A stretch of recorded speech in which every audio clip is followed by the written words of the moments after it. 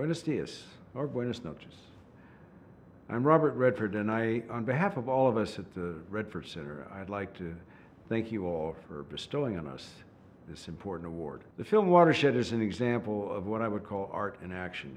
In the beginning, we wanted to make what we hope was an inspiring documentary about the approaching water shortage in the American West, in human terms.